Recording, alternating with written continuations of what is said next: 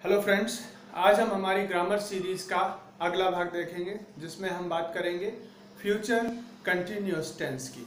इससे पहले हम फ्यूचर इंडेफिनिट टेंस के बारे में सीख चुके हैं। आज हम सीखेंगे फ्यूचर कंटिन्यूस टेंस के बारे में। इसमें मुख्य क्रिया के बाद में रहा होगा, रही होगी, रहे होंगे, इस तरह के वाक्य मतलब कि राम होमवर्क कर रहा होगा, हम क्रिकेट खेल रहे होंगे वे घर जा चुके होंगे, वो घर जा रहे होंगे। तो इस तरह के सेंटेंस आए मतलब रहा होगा और रही होगी, रहे होंगे ही आते हैं। अब इसके अलावा हमें देखना है तो अफर्मेटिव से शुरुआत करेंगे, पर इससे पहले मैं आपको बता दूँ कि हम पहले ही बात कर चुके हैं, किस तरह से कंटिन्यूस टेंस में हमेशा ही आईएनजी फॉर्म आता है। और परफेक्ट में वर्ब का थर्ड फॉर्म आता है। सो so, इसमें कौन से नियम आते हैं? आइए देखते हैं। अफर्मेटिव में सब्जेक्ट है। विल के साथ में बी आता है। और वर्ब में आईएनजी फॉर्म और ऑब्जेक्ट फ्यूचर इंडेफिनिट में सिर्फ़ बिल और वर्ब का फ़र्स्ट फॉर्म आता था। इसमें बी और वर्ब का आईएनजी फॉर्म आएगा। उसी तरह से नेगेटिव वाले में सब्जेक्ट विल नॉट बी ये यहाँ ध्यान रखना है। क्या जब नेगेटिव होगा, तब हमें इतना ध्यान रखना है कि विल और बी के बीच में नॉट आएगा। ठीक है? उसके बाद वर्ब में आईएनजी फॉर्म आता है और ऑब्जेक्ट आता है। इसके हम एग्ज़ाम्पल देख लेते हैं। जैसे, Ram will be reading book Ram किताब पढ़ रहा होगा। तो रहा होगा, Ram will be reading book दूसरा example we will be writing letter हम पत्र लिख रहे होंगे। ये एजम्पन्स होते हैं मतलब कि फ्यूचर में कौन सी चीज़ हो रही होगी, उसके बारे में हम बात करते हैं। दूसरा नेगेटिव में अगर देखेंगे तो राम पत्र, राम किताब नहीं पढ़ रहा होगा। तो Ram will not be reading book उसी तरह से we will not be writing letter मतलब हम पत्र नहीं लिख रहे होंगे।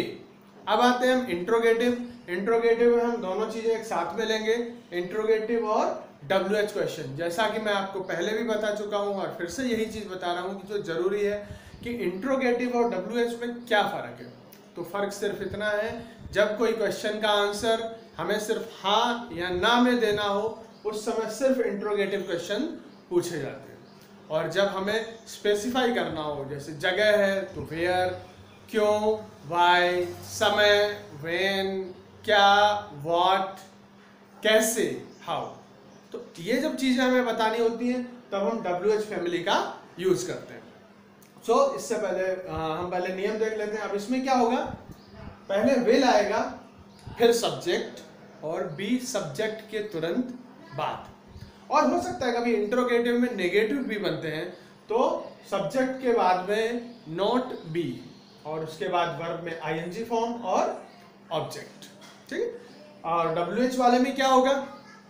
पहले डब्ल्यू एच क्वेश्चन में से कुछ भी आएगा what why when where how उसके बाद में बिल फिर सब्जेक्ट बी और अगर नेगेटिव है तो subject not be plus verb में आईएनजी फॉर्म और ऑब्जेक्ट फिर लास्ट में आता है क्वेश्चन मार्क ऐसा नहीं होता है कि इंट्रोगेटिव है तो क्वेश्चन नहीं पूछे जा सकते।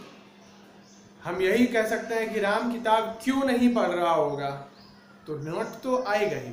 पर बस यही चीज़ हमें ध्यान रखनी है कि विल और बी को कहाँ से सेपरेट करना है। सब्जेक्ट के बाद में बी आएगा सब्जेक्ट से पहले विल आता है। तो इस तरह से हम चीज़ें याद रख सकते हैं। अब आते हैं हम एग्ज़ाम्पल की तरफ़।